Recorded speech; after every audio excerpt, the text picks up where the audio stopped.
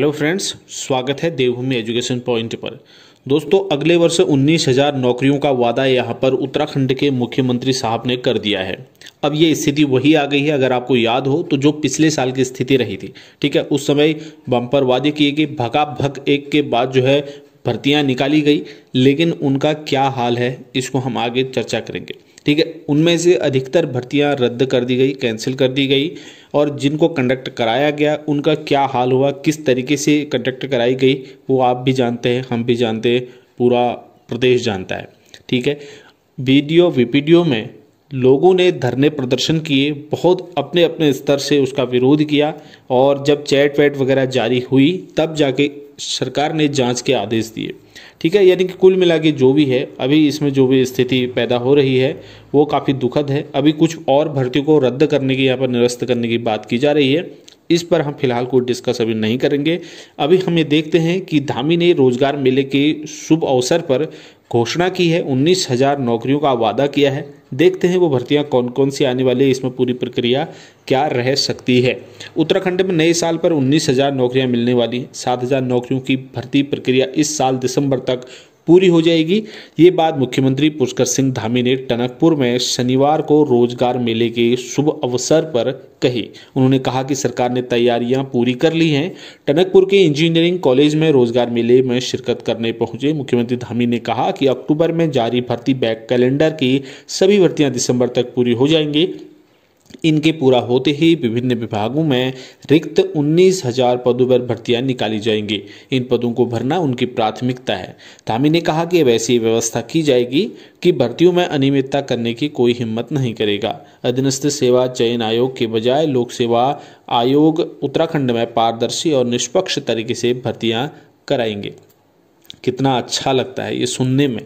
कि अब कोई भी अनियमितता देखने को नहीं मिलेगी और अनियमितता करने की हिम्मत नहीं करेगा। कम से कम ऐसा हो या ना हो, लेकिन इस लाइन को पढ़ने के बाद थोड़ी देर जहन में सुकून तो ज़रूर आ जाता है।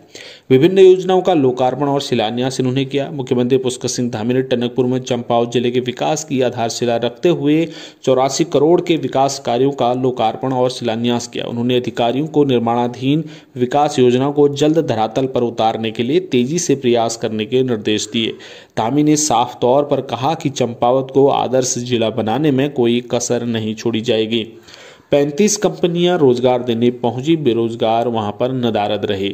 सभी को पता है भाई किस तरह की स्थिति वहाँ पर उत्पन्न होती है। एक तरीके का जो है वहाँ पर आप कह सकते हैं प्रदर्शनी, नहीं, उसको एक तरह की सर्कस आप कह सकते हैं।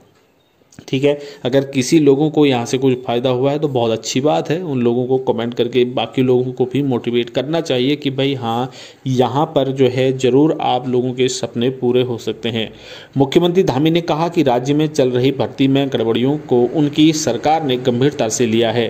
प्रतियोगी परीक्षाओं में अब किसी भी प्रकार का भ्रष्टाचार पर खास बर्दाश्त नहीं किया जाएगा। एसटीएफ और विजिलेंस भर्ती घोटाले के आरोपियों पर शिकंजा कस रही है, जिसमें अब तक 45 आरोपियों को गिरफ़्तार कर चुक, किया जा चुका है। सीएम ने कहा कि वे विश्वास दिलाते हैं कि जब तक अंतिम आरोपी की गिरफ्तारी नहीं हो जाती, तब तक ये जाँच जारी रहेगी। दोस्तों, साथ ही साथ मैं आपको बता दूँ कितनी भर्तियाँ पिछले साल निकली और कितनी भर्तियाँ जो है रद्द हो चुकी हैं। तो देखिए, ये हाल है आयोग की नाकामी का। तो उससे आयोग की नाकामी की वजह से 35 परसेंट जो भर्तियाँ थी, सरकारी भर्तियाँ, वो रद्द हो गई। उन्नीस हज़ार में से सात हज़ार भर्तियाँ रद्द हो गई। आठ साल में मात्र दस हज़ार लोगों को ही नौकरी दी गई। बारह हज़ार से अधिक जाँच के दायरे में इन पर लटक रही है तलवार और अट्ठासी परीक्षाएँ आयोजित करवा चुका आयोग 2015 से अब तक।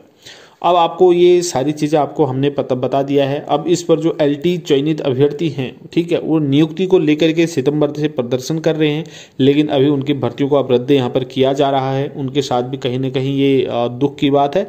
लेकिन अगर दूसरा पक्ष देखें, जो दूसरा पक्ष कहता है, ये धांधली से, अनियमितताओं से अगर कोई भर्ती होती, वो भी सही नहीं है।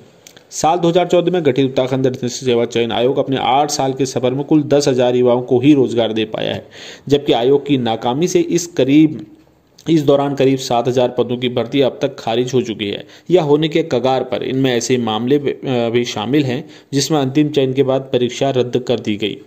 तो अब देख सकते हैं, यहाँ पर आपको पता है, विभिन्न प्रकार की जो अनियमितताएँ हैं, उससे इतनी भर्तियाँ रद्द हुई हैं। सात हज़ार भर्तियाँ रद्द होगी उन्नीस हज़ार में से। आप सोच सकते हैं आप।